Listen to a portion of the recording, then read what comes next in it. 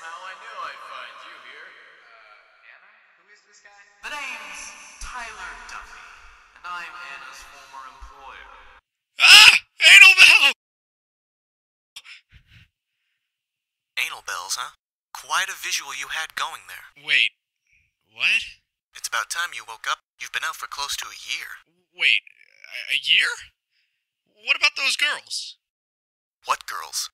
The girls, you know, the, the ones where you hooked me up with a porn star? Me? Hook you up with a porn star? You couldn't even handle one of those. If you mean those girls I brought in earlier, I assumed you were still out cold and wouldn't hear anything. Was I seriously out without responding for that long? Well, yeah. Uh, well, you did react a little when I borrowed your leg halfway through my business with the women.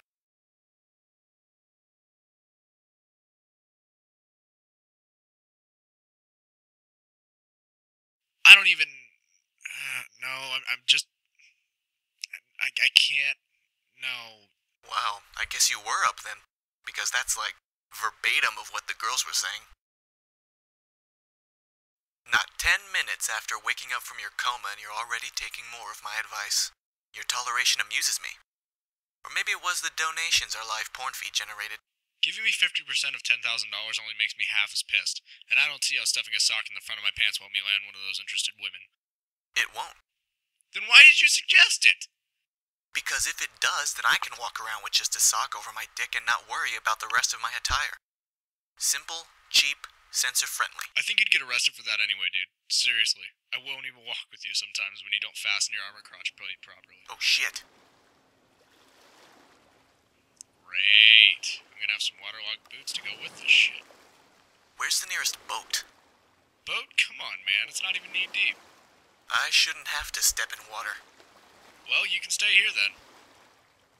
I've got a better idea.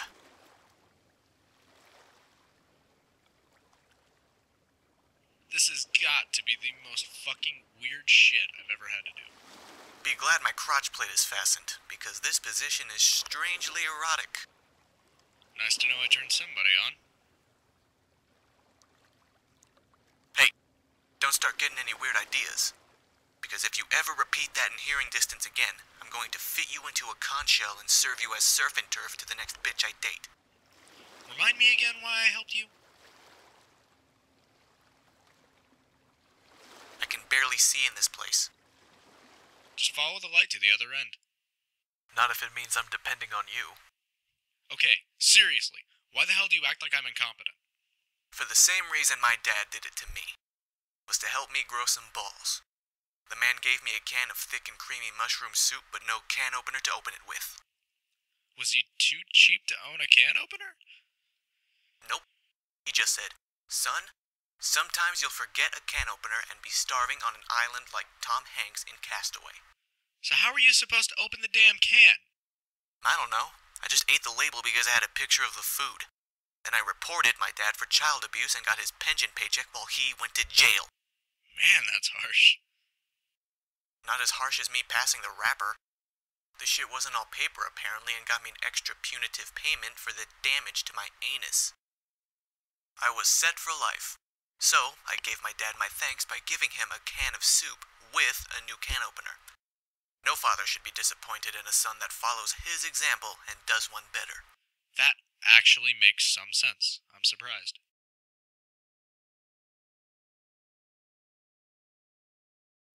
Well, this is the place. Smells like rubber gloves and lubricant. How the hell do you know what that stuff smells like? When you've used that stuff as much as I have, the trademark scent sticks in your head. Why would you use that stuff for. Wait, wait, no, no, no, don't, don't answer that. Anyway, what is this place? It's the clinic that handled your care for the last year. You're going to have one hell of a bill when you walk in.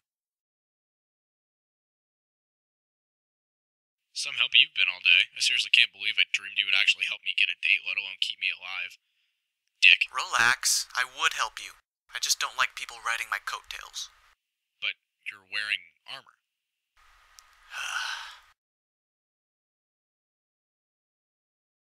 Uh, yes, Chris. I see you're walking normally. As soon as my assistant, Dr. Darko, joins me, we can proceed with the evaluational physical.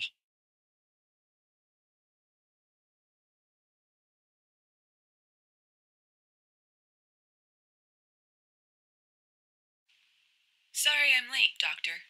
Wait, you're Dr. Darko? That's right. Izzy Darko. God, this physical is going to be really fucking awkward. Relax, Chris. I was in charge of your care and had to observe your condition while you were in the coma. Now drop your pants. Why are you in here anyway? I'm here to make sure you aren't violated. Although this is probably the only woman who's seen that part of you. Probably going to be the last, too. Matthew! If you can't stay professional, I will have to ask you to leave.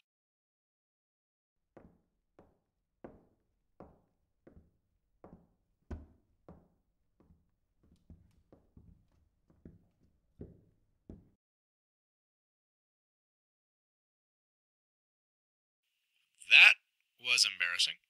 Would have been more embarrassing if I had let them know your junk was swollen. It's not swollen! It's okay.